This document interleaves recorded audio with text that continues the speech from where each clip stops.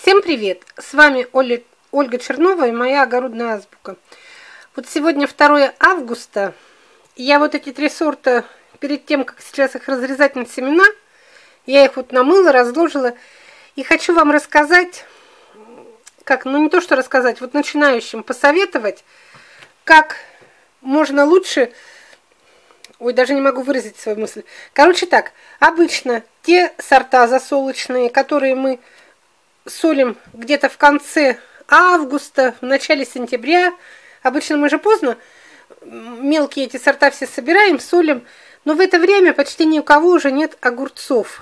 И я вот раньше всегда применяла такую практику, чтобы делать красивые ассорти, баночки, то есть помидорки с молодыми огурцами, выращивала специально вот такие вот ранние сорта.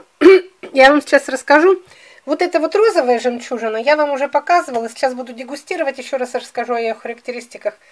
Вот это русские колокола, и вот, и вот это гном. Почему именно они, и почему я хочу остановить ваше внимание на этих сортах?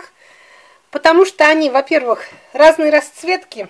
Этот розовый, этот оранжевый, этот красный – и если делать ассорти, если вы любите не в огромных трехлитровых банках, там неизвестно какого размера, а если вот такие любите, чтобы не только вкусные были, но и эстетически красивые вот эти консервации, вот красный, желтый и розовый, и еще туда такого же размера примерно маленькие зеленые огурчики, это такие восхитительные, во-первых, они, конечно, и вкусные в консервации, и еще очень красивые банки получаются.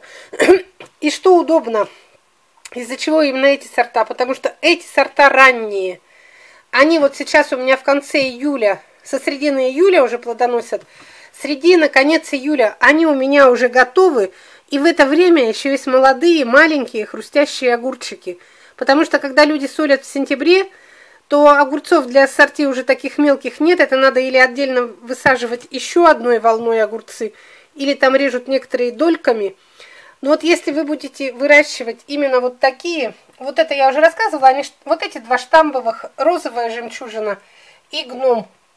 Ну тут гном у меня еще немножко изрезан, я приготовилась показывать вам его внутренности.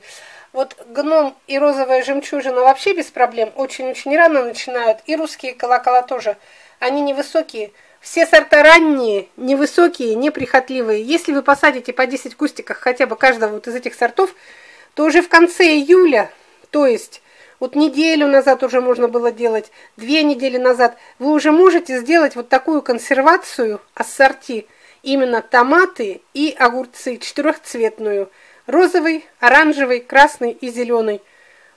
Живописные банки получаются, ну и, конечно, очень вкусно.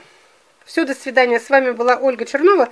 Это просто небольшой практический совет для начинающих, что не обязательно ждать сентября и, они, и не обязательно засаливать только те сорта, которые, те томаты, которые остаются у вас поздно, вот эта всякая мелочь. Можно посадить специально вот такие аккуратные, прям кукольные томатики и делать из них ассорти. Все.